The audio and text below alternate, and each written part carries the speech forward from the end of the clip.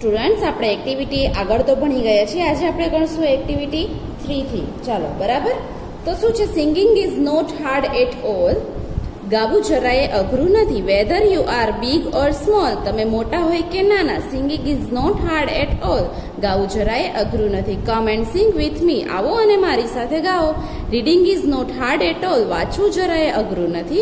Whether you are big or small તમે મોટા હોય કે નાના. બરાબર? Come and read with me આવો અને મારી સાથે ગાઓ. રનિંગ ઇઝ નોટ હાર્ડ દોડવું પણ અઘરું નથી. તમે મોટા હોય કે નાના come and run with me ચાલો મારી સાથે આવો અને દોડો. English is not hard at all અંગ્રેજી જરાય અઘરું નથી. Whether you are big or small તમે નાના હોય કે મોટા. બરાબર છે? English is not hard at all અંગ્રેજી જરાય અઘરું નથી. Come and learn with me આવો અને મારી સાથે શીખો ઇંગ્લિશ ચલો, હવે આપણે આ જે કવિતા આપેલી છે, એને તમારે કાવ્ય પંક્તિને પૂર્ણ કરવાની છે. તમને અહીંયા કાવ્ય પંક્તિ આપેલી જ છે, એને તમારે આમાં પૂરી કરવાની છે. આપણે પાછળ આવી જઈશું.